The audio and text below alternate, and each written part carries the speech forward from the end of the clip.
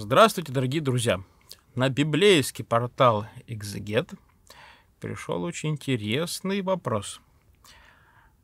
Уже несколько лет занимаюсь бодибилдингом. Недавно пришел к вере. Не грешно ли так увлекаться красотой своего тела? Надо подумать, потому, потому что в Новом Завете однозначного ответа нет. Ну, как и нет э, огромного количества ответов на вызовы современности. Надо плавать в Евангелии, надо проникнуться его духом, чтобы понять, соответствует наш ответ на вызов современности Евангелию, Духу Христову, или не соответствует. И вот первые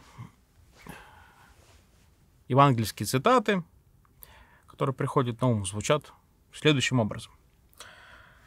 Первое принадлежит апостолу Павлу, очень коротенько. «Облекитесь Господа нашего Иисуса Христа и попечение о плоти не превращайте в похоть».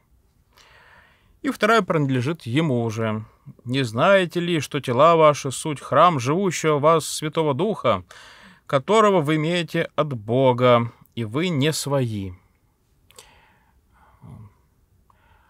А с другой стороны, давайте посмотрим вообще на историческую ситуацию, вообще на, на мир, в котором возник Ветхий Новый Завет.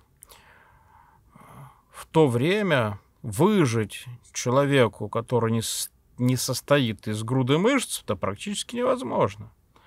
Постоянно одно племя нападало на другое. На победителей нападала третья.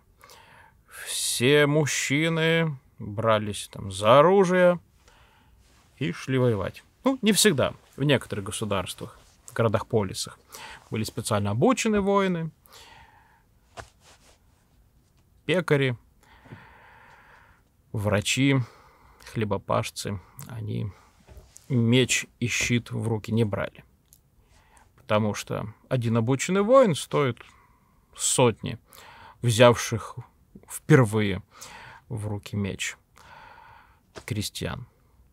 Была и такая традиция. Но, тем не менее, никто не жил на Бали, сдавая московскую квартиру, Иерусалимский домик в аренду. Никто не зарабатывал на крипте, на инвестициях, не майнил, не программировал, вот, не сидели в кресле с дрябленьким тельцем, ожидая, когда на карточку придет аванс, а потом и получка.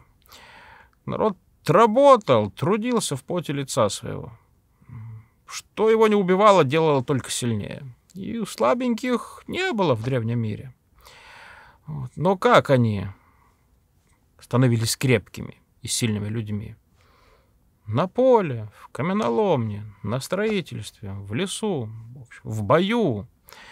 Э, не в фитнес-залах, не в качалках, а в быту. Крепкие, мощные люди. Ну а сейчас что? Изменилась эпоха. Приходится тем, кто хочет заботиться о здоровье, топать в качалке. Э, или заниматься любым видом спорта, который держит твое тело в тонусе.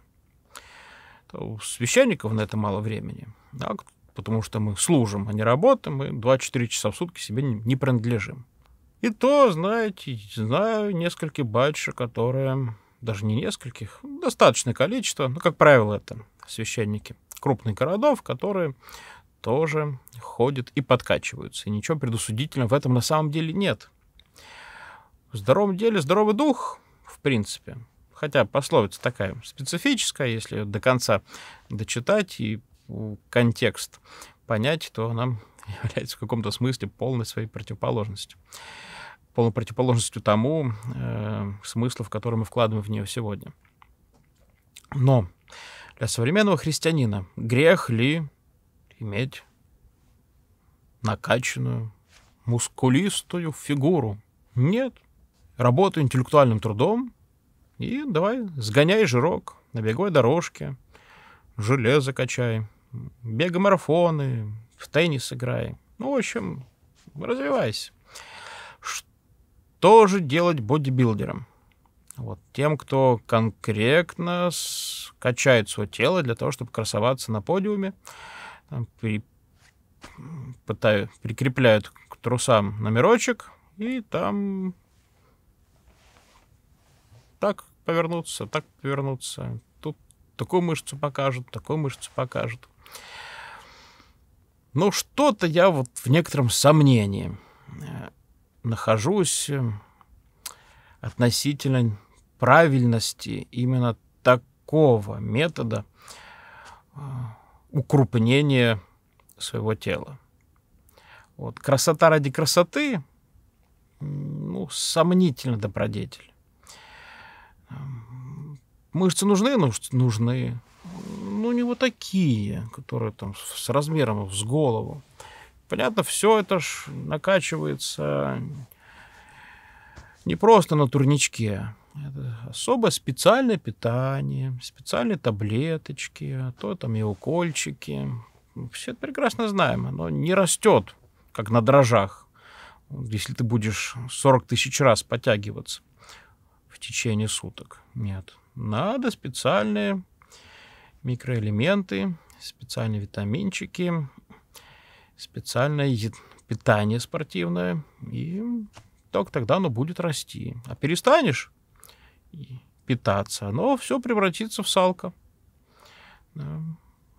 Понимаю, есть определенное такое удовольствие от этого накачивания этих мышц. Плюс еще удовольствие от тщеславия, что вот я не то, что другие, я не фунт изюма, не семья, как же прочие человецы.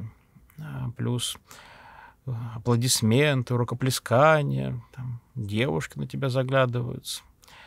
Знаете, как-то мне кажется это неправильным. Немножко меня это смущает.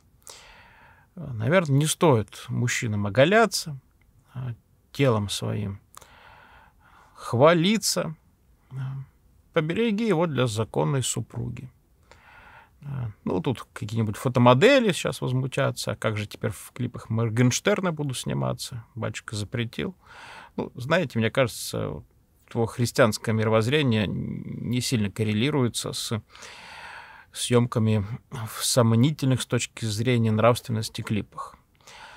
Поэтому, наверное, здоровьем следи, с анаболиков своих слезай.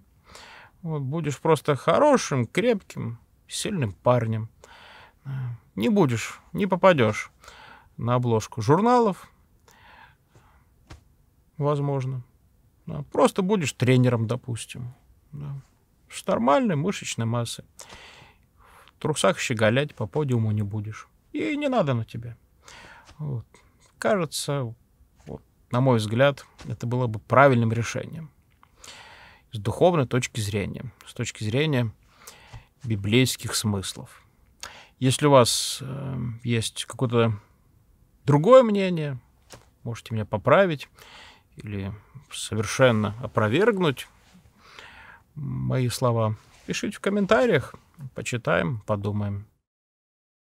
Внеси свой вклад, оцени, подпишись и поделись этим видео.